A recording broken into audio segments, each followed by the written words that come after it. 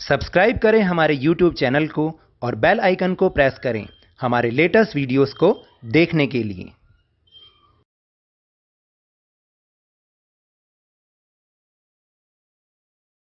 Hello and welcome to Lavneesh sir की class आज की शिक्षा निदेशालय राष्ट्रीय राजधानी क्षेत्र दिल्ली की वर्कशीट वर्कशीट नंबर 27 जो कि कक्षा छठी के विद्यार्थियों के लिए है। यह ली गई है सामाजिक विज्ञान के भूगोल विषय से, और जिसकी पाठ्यपुस्तक का नाम है पृथ्वी, हमारा आवास। और जिस पाठ को आज इस वर्कशीट में हम समझ रहे हैं, वह है अध्याय पाँच, पृथ्वी के प्रमुख परिमंडल, जिसमें हम जलमंडल के बारे में जानकारी प्राप्त करेंगे। तो चलिए, शुरुआत करते हैं मेरे साथ और समझने की कोशिश करते हैं। पृथ्वी की सतह पर महासागरों, झीलों नदियों, भूमिगत जल तथा अन्य जलाशयों के रूप में उपस्थित जल को जलमंडल कहा जाता है। अब आप समझे कि जलमंडल किसे कहते हैं? जो पृथ्वी की सतह पर महासागर हैं, झील हैं, नदियाँ हैं, भूमिगत जल यानी जो ज़मीन के नीचे का जल है, और जो अन्य जलाशय हैं, उनके रूप में जितना भी जल उपस्थित है, उन सबको जलमंडल कहा जाता है। पृथ्वी को नीला ग्रह भी कहा जाता है क्योंकि पृथ्वी पर इकहत्तर प्रतिशत भाग जल के रूप में उपस्थित है। अब कहने को तो इकहत्तर प्रतिशत है, लेकिन इसमें से सत्तानवे प्रतिशत से अधिक पानी महासागरों में खारे पानी के रूप में पाया जाता है। यानी पानी तो है, लेकिन वो हमारे किसी काम का तो नहीं है, क्योंकि इस 71 परसेंट इकहत्तर प्रतिशत में से भी सत्तानवे प्रतिशत से ज़्यादा पानी महासागरों में खारे पानी के रूप में है। और जो ताज़ा पानी है, वो सिर्फ़ देखिए कितना है? दो दशमलव पाँच प्रतिशत। कितना? दो दशमलव पाँच। और जो पूर सत्तानवे प्रतिशत भाग है पानी का, वो खारे पानी के रूप में महासागरों में स्थित है।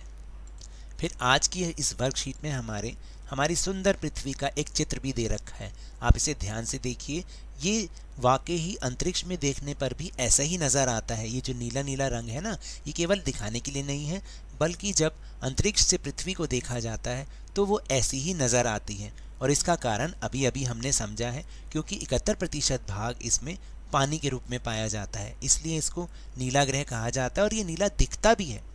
तो चलिए, अब हम चलते हैं अपने अगले टॉपिक यानी महासागरों की ओर। महासागर क्या है? महासागर जल मंडल के मुख्य भाग हैं। ये खारे पानी के विशाल क्षेत्र हैं। तो आपको पता चला महासागर क्यों कहते हैं? क्योंकि ये बहुत विशाल क्षेत्र में स्थित हैं। यानी सिर्फ़ पानी सिर्फ़ पानी और पानी। और पानी भी कैसा? बिल्कुल खारा पानी, जो कि आप पी भी नहीं सकते। महासागरीय जल हमेशा गतिशील रहता है। तरंगे, ज्वार भाटा तथा महासागरीय धाराएँ। महासागरीय जल की तीन प्रमुख गतियाँ हैं। यानी तीन गतियाँ जो महासागरीय जल की हैं, वो क्या है? तरंगे, जो कि लहरें उठती रहती हैं, ज्वार भाटा और महासागरीय धाराएँ। अब पूरी दुनिया में पाँच प्रमुख महासागर हैं। जैसे आपको याद हो, हमने पिछली वर्कशीट में सात महाद्वीपों के बारे में समझा था।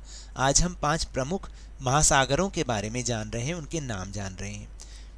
तो पहला है प्रशांत महासागर, जो कि दुनिया में सबसे बड़ा महासागर है। अटलांटिक महासागर, हिंद महासागर, जो कि हमारे भारत के दक्षिण में भी है। दक्षिणी महासागर तथा आर्कटिक महासागर, ये पाँच महासागर हैं। तो अब हम चलते हैं अपने आसान से प्रश्न उत्तर की ओर। तो पहला प्रश्न है कि जलमंडल से आप क्या समझते हैं? बहुत ही आसान। पृथ्वी की सतह पर महासागरों, झीलों, नदियों, भूमिगत जल तथा अन्य जलाशयों के रूप में उपस्थित जल को हम जलमंडल कहते हैं। दूसरा प्रश्न है कि पृथ्वी को नीला ग्रह क्यों कहा जाता है? तो पृथ्वी को नीला ग्रह इसलिए कहा जाता है क्योंकि पृथ्वी पर इकहत्तर प्रतिशत भाग जल के रूप में उपस्थित है। और तीसरा प्रश्न, प्रमुख पाँच महासागरों के नाम लिखिए जो कि अभी अभी हमने समझे हैं। तो पाँच प्रमुख महासागर हैं, प्रशांत महासागर, अटलांटिक महासागर, हिंद महासागर, दक्षिणी महासागर तथा आर्कटिक महासागर।